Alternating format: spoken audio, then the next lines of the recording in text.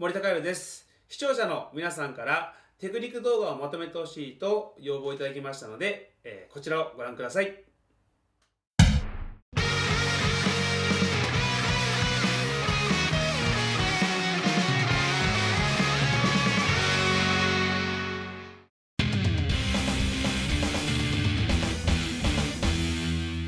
えー本日はあクロールのスカーリングをご紹介させていただきます。で、このスカーリングはですね、えーまあ、どちらかというとただスカーリングをするというイメージではなくて、目線のところが自分自身の力の入るところに合ってるか合ってないかっていうところのためのスカーリングになってきます。で、このスカーリングっていうのは、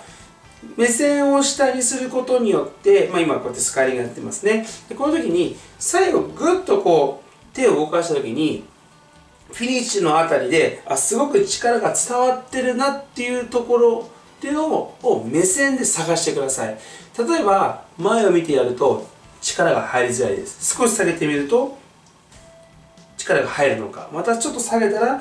力入るのか。僕の場合はどっちかちょっと下げ気味でやると力が入ってきます。なのでこれよくレッスンでもそうなんですけどもただ、ね、下を見ましょうと言った時にいきなり下げてしまう方って多いんですけども必ずこれ人それぞれ下がる場所っていうのは変わってきますのでそれをこのスカーリングをしながらですね目線で調整するようにしてみてください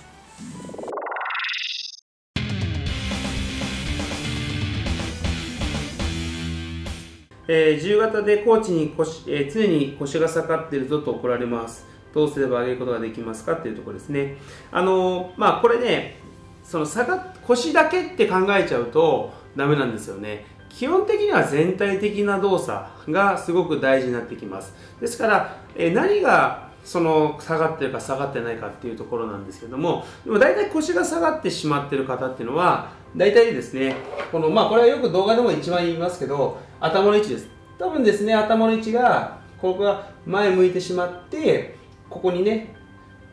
こう上がればね、腰がここ、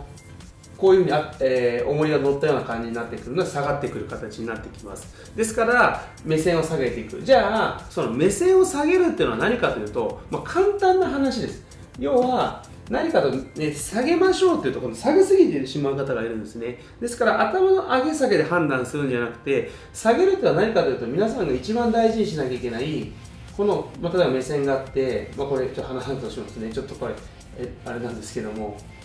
いつもねちょっとこれ僕の絵がいつもうますぎてあの分かりやすいかなと思うんですけどもストリームラインの姿勢です。ストリームラインですね。ストリーム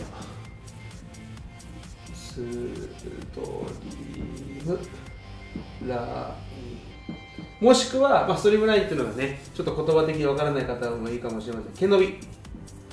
毛伸び。毛伸びの不しえ姿勢。もしくは不周期の状態ですね。この姿勢が基本動作です。もうこれ基本です。これも基本です。ですから要は目線を下げましょう上げましょうじゃなくてこの目線のストリームライン毛伸び不周期の状態を崩さないように泳いで呼吸も入れてまたそこに戻すっていうこと。これを必ず大事にする。そしたら平泳ぎも同じ。でバタフライも同じ。っていう背泳ぎも同じ。っていう全部毛伸びの基本から動作ってつながっていきますので。なのでねそこが崩ればどっか崩れますから。ねそこ気をつけてやってみてください。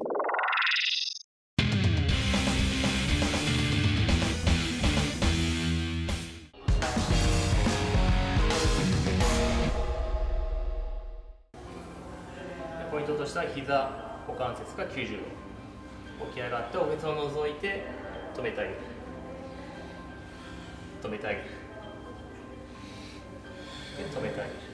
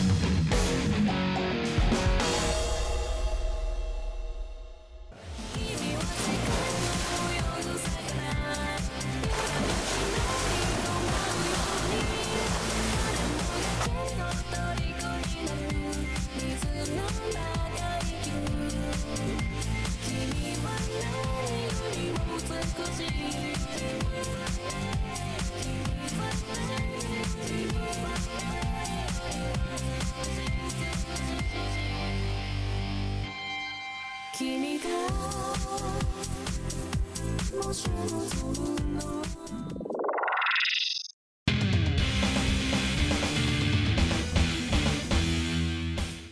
日は自由形ですね。えー、自由形体幹がぶれてし、えー、ぶれないようにしたいのですが、腰を反らせるのはダメですか？腰を反らせると、胴体の腹の部分は垂直方向に少し、え、固定できて、なおかつキックの際にテンションをかけて蹴れるように思うんですが、いかがでしょうかということなのですが、うーん、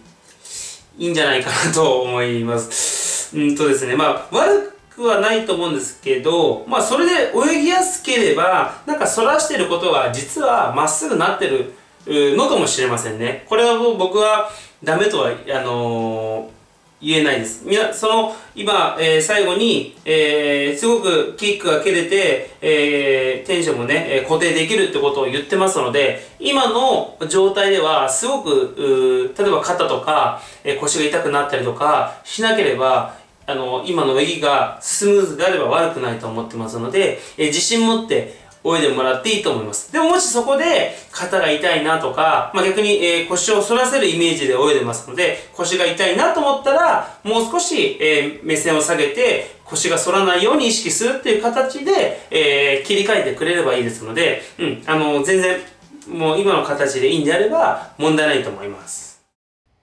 皆さん、どうだったでしょうか？ぜひチャンネル登録をお願いします。